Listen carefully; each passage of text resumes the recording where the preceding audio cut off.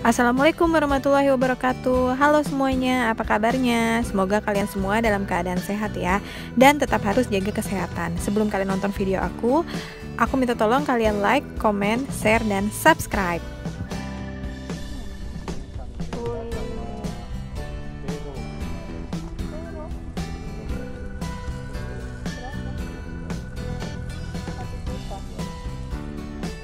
Satu daun satu juta dua ratus satu ya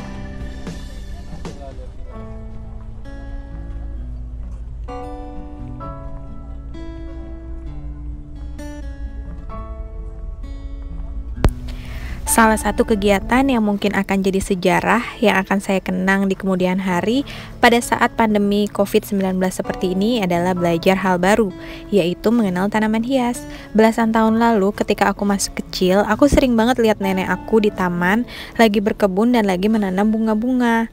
Bahkan sampai usia dia sudah sepuh, dia tetap melakukan hal itu. Akan tetapi pada saat itu aku hanya bisa mengamati karena belum mengerti dan bisa belum bisa meniru kebiasaan baik dari nenek. Hingga saatnya ini, waktu ini tiba ketika ada teman sahabat yang aku anggap kakak aku sendiri mulai rajin membeli tanaman hias dan mengkoleksinya. Maka naluri saya tumbuh begitu saja.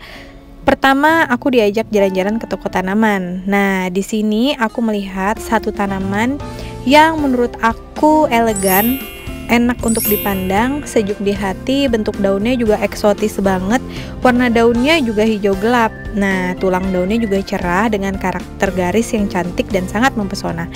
Kalau kalian penasaran tanaman apa yang aku maksud, stay in the channel guys. Iya, tanaman yang aku maksud adalah Alocasia amazonica Farpoli termasuk ke dalam famili Araceae. Nah, bentuk tanamannya seperti ini guys, bener-bener unik banget. Dari situ aku langsung jatuh hati dan pengen banget punya tanaman ini. Tanaman ini memiliki sebaran geografis pada daerah hutan hujan tropis seperti Amazon atau Afrika Selatan. Makanya umumnya tanaman ini disebut sama African Mas atau topeng Afrika. Bentuk dasar daunnya menyerupai hati, tetapi bagian tepinya berlekuk-lekuk dengan sisi tajam berwarna putih. Tulang daunnya sangat jelas dan juga berwarna putih seperti tepi daunnya. Warna dasar helaiannya cenderung ke hijau tua guys. Tumbuhan ini juga bisa diperbanyak nih. Jadi kalau misalkan kalian mau tanam di rumah juga bisa diperbanyak yaitu dengan umbinya. Tumbuhan ini menyukai kondisi yang hangat dengan suhu minimum 16 derajat Celcius. Nah, ini tanamannya ada di paling depan, guys. Bentuk daunnya tuh sangat uh, eksotis banget kelembapan tinggi dan sinar matahari yang terang juga dibutuhkan, tapi harus dihindarkan dari sinar matahari langsung. Jadi kalau misalkan dijemur nggak bisa dibawa sinar matahari langsung ya guys. Media tanamnya juga harus lembab. Nah ini manfaatnya untuk tanaman hias di indoor bisa atau dihias di pot juga bisa. Nah nama lainnya itu adalah keladi Amazon.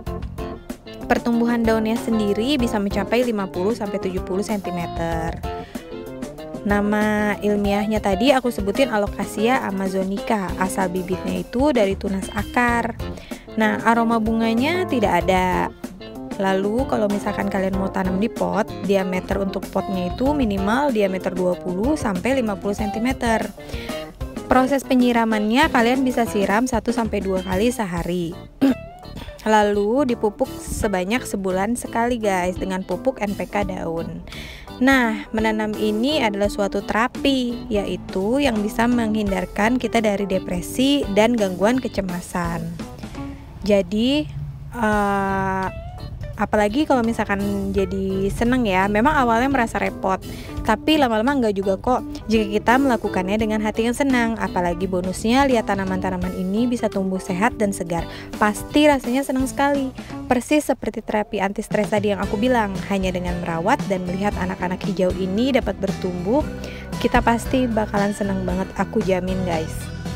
Ini aku kasih lihat tanaman-tanaman yang lain juga yang gak kalah bagus-bagusnya guys ini juga tanaman-tanaman yang akhir-akhir ini belakangan ini lagi hits. Nah, di sini banyak banget nih jenis-jenisnya. Ternyata daun itu banyak dan beraneka ragam ya guys. Jadi bener-bener kita harus banget mensyukuri uh, ciptaan Tuhan ini.